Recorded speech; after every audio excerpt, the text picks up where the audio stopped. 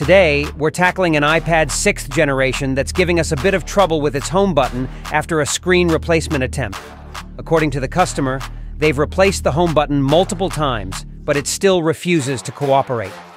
Let's dive into the tablet and take a closer look under the microscope. Upon inspection, we immediately spot a shifted component at the home button connector, a likely culprit for the issues.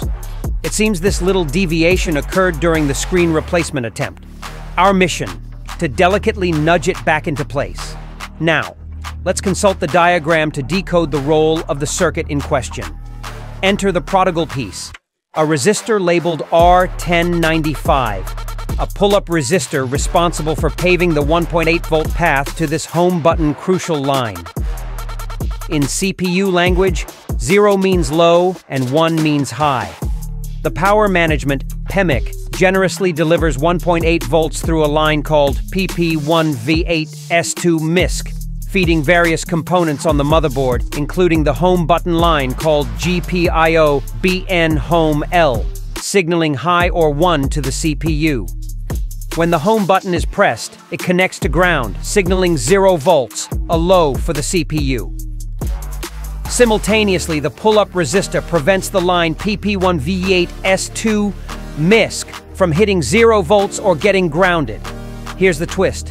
With our resistor out of place, the crucial 1.8 volts for the home button line are MIA. Consequently, the CPU is left in the dark, unable to distinguish between high and low signals. This communication breakdown explains why pressing the home button gets no response. Now, witness the magic as I connect the home button to the motherboard, navigate to pin 11, and check the voltage. Our multimeter shows a promising 1.78 volts indicating the pull-up resistor is doing its job.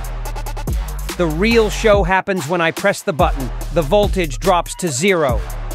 With bated breath, we reassemble the tablet. Voila! The once stubborn home button is now dancing to our tune. A round of applause, please. Thank you for joining us on this journey of technological troubleshooting. Until next time. If you're as intrigued by this world as we are, we invite you to delve deeper into the realm of mobile device repair. Consider joining us at the Cell Phone Repair Academy for comprehensive training. Uncover the secrets of the circuits and embark on a journey to master the art of fixing gadgets.